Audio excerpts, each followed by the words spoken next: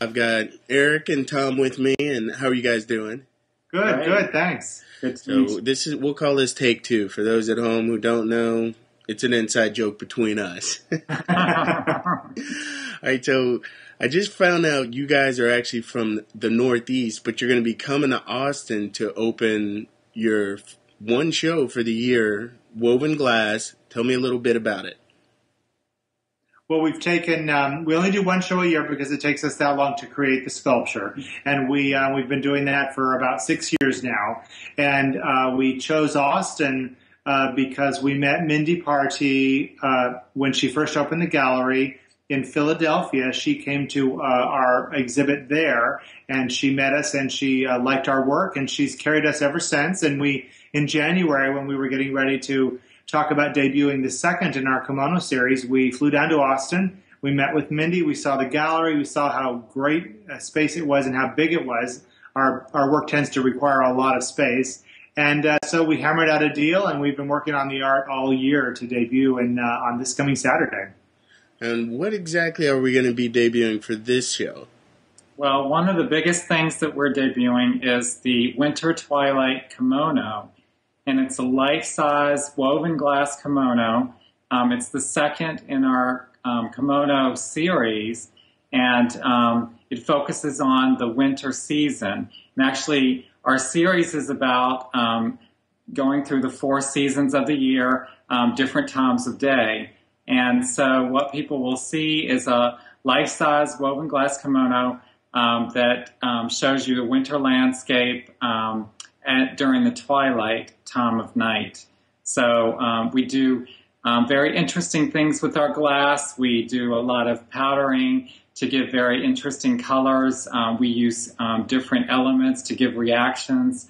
Um, we add metallic looks. So it's kind of a real interesting um, thing, and, and we think it'll be real exciting for people to see this this life-size kimono in glass. And instead of creating a kimono flat on the wall, which is the way most fabric kimonos are actually created, we wanted to go beyond our, you know, the impossible weave that we already do and actually make her three-dimensional. So she's standing with her arms outstretched about four and a half feet uh, wide, and she she has the form of a woman. It looks like there's a woman standing inside the uh, the uh, the dress. So we really wanted it to come to life, and people can uh, really see details in the just in the body shape to make it look like it's really realistic. So for people like me who have no clue, you don't just get like Coke bottles or anything. There's a real process to creating the glass itself. Yeah, it took us about uh, it took us a little over two years to actually develop the process of woven glass. Um, very unique for glass. Um, you can actually feel a texture on the glass um, when you touch it. Um, when you look at it closely, you can see it's all woven.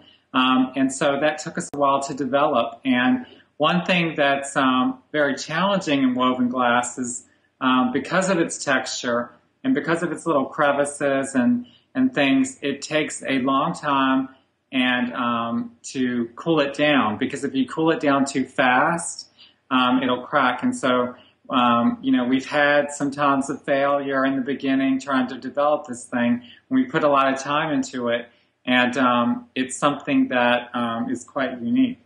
Yeah, it takes us um, about six weeks to make a like a single table sculpture, and we have to take all the glass, and we have to, even though the glass that we get, um, the sheet glass that we get, that comes in a, a few colors, they're not enough colors for us. And then we, because we're doing so much mixing with them with glass powders and crushing glass, that we have to test it for compatibility because if they're not compatible, then they'll just crack when they're cooled. So we have to do all the tests on the colors, make sure they can touch each other. Some of our pieces have 80 different colors of glass hues that we've made in them.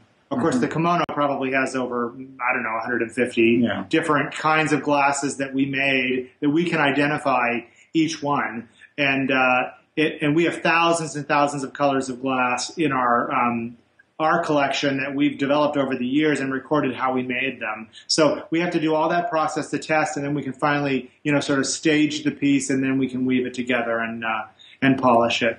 Right, hold that thought. So your head is, you know. I figured out the light.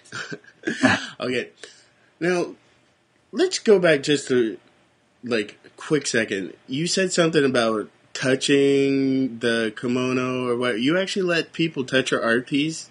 Yeah, we actually we like people to connect with our pieces, and we feel like you know because this is such an interesting thing that we do um, with the woven glass, um, we actually want people to touch it and feel the texture because um, it looks impossible, and um, for us, you know, taking a while to develop it, you know, it's kind of been impossible for us to figure out at times. So um, we do want people to have that experience, touch it, feel it, you know, feel the texture. Um, and we just think that in that way, you know, there's a closer connection to the art. And the, the, basically, sometimes the fringe edges are fragile, but the, the main structure of the of the sculpture is pretty strong, so people can run their fingers over it. And, and I think when people see it, they they visually it looks impossible that that could be glass. So by touching it, you get that sensation right away that you know it's glass. And we think that's really important. And we, we do work hard with our galleries to try to encourage them to,